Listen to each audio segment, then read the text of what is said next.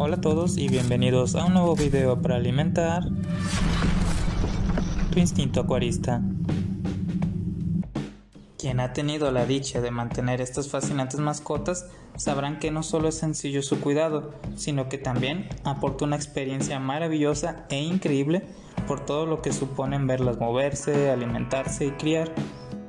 Hoy quisiera mostrarles una sorpresa muy grata al cuidado de mis neocaridinas Red Cherry si eres un aficionado a las gambas, seguro conocerás las diferentes variedades de color en las que se encuentran a la venta. Estas suelen ser rojas, amarillas, azules, naranja, verde e inclusive combinaciones y tonalidades que se han logrado gracias a la cría selectiva. Todas estas especies surgen a partir de variaciones en los genes que dan color partiendo de la especie salvaje, las cuales son marrones y un poco descoloridas para escapar de depredadores y adaptarse a su entorno natural. Los que han seguido nuestros videos sabrán que yo inicié con solo 10 gambas de cherry y tras haber tenido una explosión de crías apareció la primera gamba con una mutación en su color y esta fue amarillo y además un tono bastante intenso para ser la primera de su generación. No les miento, tuvo que pasar muchísimas de estas generaciones para que surgiera la primera mutación y afortunadamente hace unos días noté que se encontraba ovada, así que no tardará en tener sus propias crías. El color de la descendencia de las gambas neocaridina dependerá de las probabilidades mendelianas acorde a los genes recesivo y dominante de sus padres, y este en particular al haber estado conviviendo con especies de color roja tendrá aproximadamente una probabilidad del 25% para que las demás crías tengan su color amarillo. A mí me crea mucha ilusión este tipo de cosas, pues llegué a estar un poco renuente a mantener gambas en un acuario.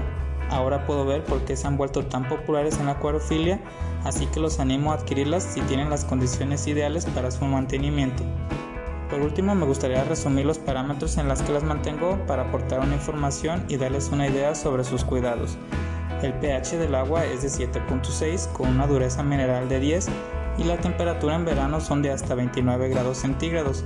El resto del año están entre los 24 y 26 grados gracias a un termostato. Las peceras donde las tengo son dos acuarios de 40 litros aproximadamente, donde comencé a seleccionar y separar algunos ejemplares. En ambos acuarios viven peces guppy con plantas naturales y escondite para que se sientan más seguras.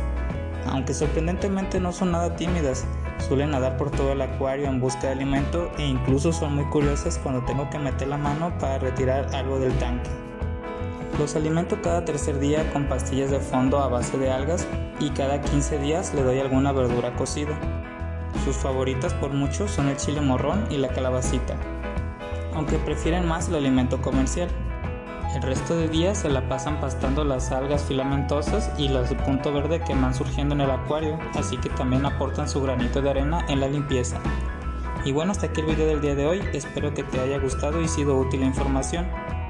Recuerda apoyarnos con tu like para seguir creciendo y suscribirte al canal para que no te pierdas de nuestro contenido y seguir alimentando tu instinto acuarista. Hasta la próxima.